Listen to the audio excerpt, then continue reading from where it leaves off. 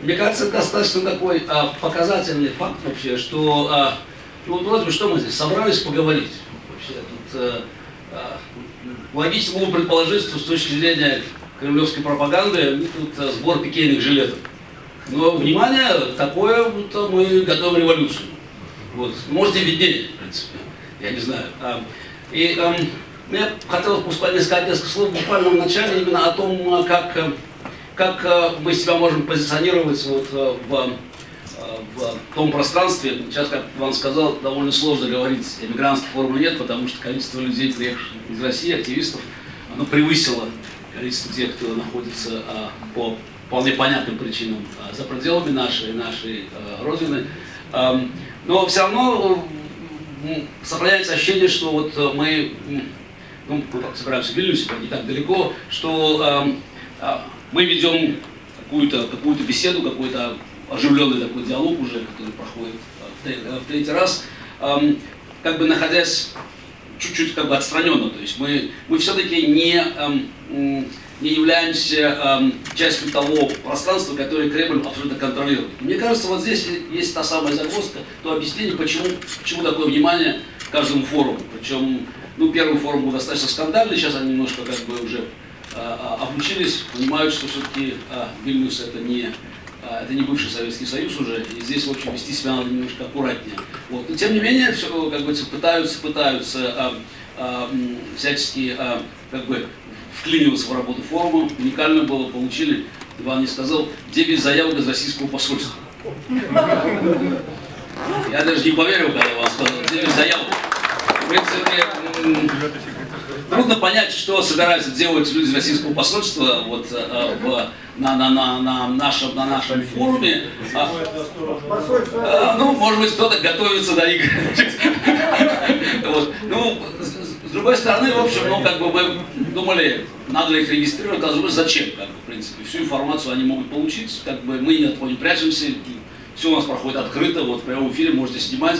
Ну, в общем-то, пока на сегодняшний день, даже если у кого-то из них, как сказал Игорь Чубайс, есть, есть а, потайные мысли о том, что неплохо бы засветиться здесь на будущее, вот, а, мы все-таки собрались для того, чтобы, как говорится, исправлять им биографию. Вот, а, а, когда уже проходит третье мероприятие, надо пытаться понять вообще, как говорится, вот именно для чего мы собираемся и как, каковы наши перспективы на будущее. Очевидно, что, конечно, не располагаем близко даже там э, теми ресурсами, неограниченными ресурсами, которые есть, скажем, у каких-то других представителей оппозиционных групп. У нас нет той разветвленной инфраструктуры в, в э, России, э, как, как социальной, так и как бы, инфраструктуры, находящейся на, как, непосредственно на земле, которые есть у кого-то другого.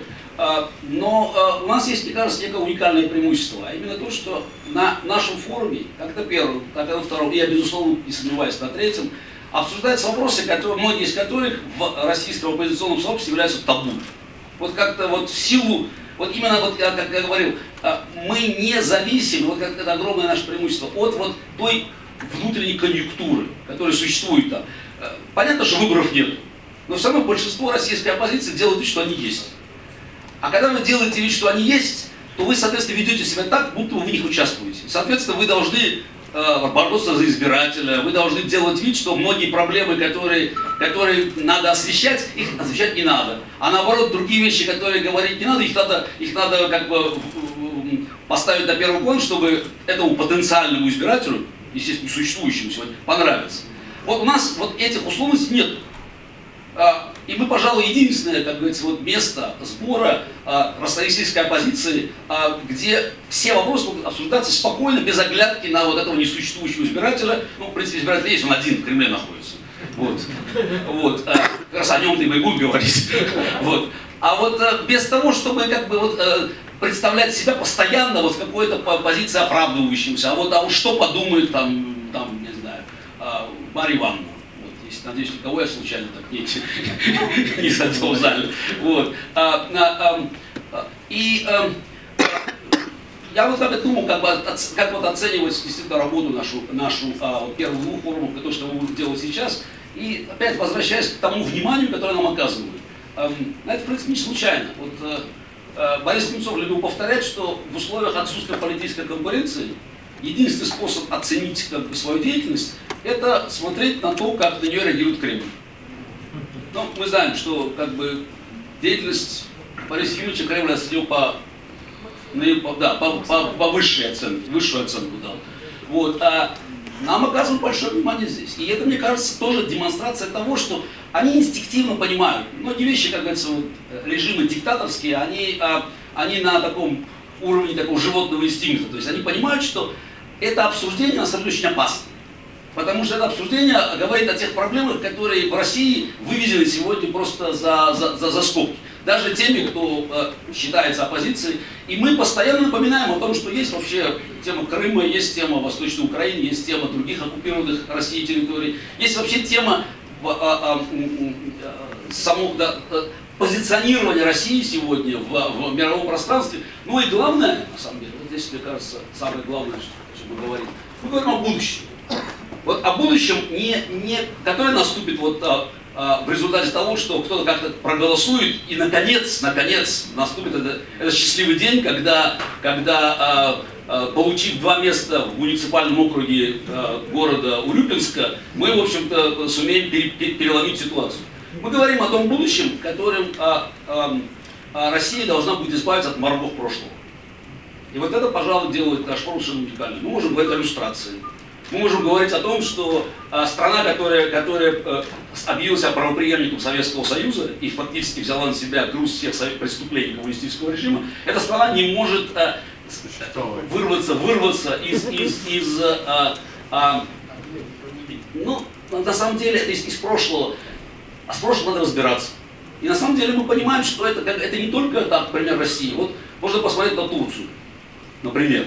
А все-таки отказ признать геноцид 15 года, он в итоге привел к тому, что Турция, которая уже стояла буквально на пороге принятия в Евросоюз, в итоге стала тоже страной вполне себе диктаторской. Вот. А можно смотреть на Германию и Японию в принципе, о том, как, как проходит процесс очищения, как страна, а, там, две страны а, а, ударными как бы, темпами, они, они, они становятся ведущими, ведущими мировыми державами, потому что четко поставлен крест на том, что было, что было сделано, и все оценки были расставлены. Вот, мне кажется, это действительно делает нас, вот, вот это, это возможность все это обсудить, возможность говорить о том, что, что мы должны будем сделать, когда все-таки а, а, путинский режим э, даст вот трещину, начнет, начнет, начнет проседать и в итоге опалится. А, мне кажется, это, это э, делает форум абсолютно, абсолютно уникальным. И я надеюсь, что этот разговор будет он более предметным, более серьезным, потому что действительно говорить есть много о чем. И то, что у российской оппозиции отсутствует на сегодняшний день дорожная карта, вот такая, так называемая, именно в будущее. А вот что будет происходить? Вот это с одной стороны, как бы, э, ну, объясняется тем, что никто не знает, когда будущее наступит, и это опять плохая новость мы не знаем, когда наступит. Хорошая новость, что они тоже не знают, когда наступит в данном случае Кремле. Вот. А, ну, опять я еще раз говорю, будущее как бы с сокрытым мраком, но э, учитывая, учитывая то, что мы все-таки располагаем меньшими возможностями, а, как бы сбора информации, а, я рассматриваю как преимущество. То что, то, что оно неизвестно. И ясно, что неизвестность для нас это просто а, руководство к действию. Мы должны просто объяснять, как это, как это должно происходить. Для них это страх, потому что они понимают, что в, во многих раскладах этого будущего для них просто нет места.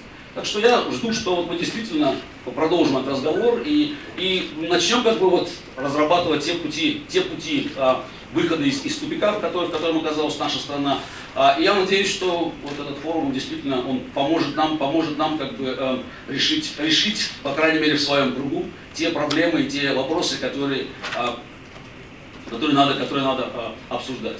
Ну, просто, пожалуй, как говорится, я ничего больше сказать не могу сейчас, потому что а, впереди два дня работы форума. Я думаю, что э, тот, э, результаты его, они как-то скажутся и на, на том, как мы выстроим свои отношения. Ну и кроме того, мы ни от кого не прячемся, что важно. Мы, как, мы э, показываем, показываем все, все, что нам есть сказать буквально в прямом эфире. Вот, потому что, мне кажется, тоже очень важно, это тоже очень важное отличие от каких-то других мероприятий. А, принципиально важно показать, что мы а, всегда открыты и готовы к нормальному диалогу. Не с преступной властью, а с теми, кто вместе с нами хочет этот режим демонтировать. Спасибо. Большое. А, Начинаем работу. Вадим, Светлана, пожалуйста,